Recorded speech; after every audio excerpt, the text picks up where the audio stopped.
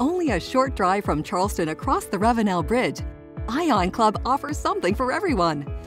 Members exclusively enjoy the club's impressive amenities, including seven lighted clay tennis courts, a 24-hour fitness center, three pools heated and cooled for year-round comfort, an open-air restaurant serving fresh local cuisine, over 40 hours of group fitness classes weekly, and much more.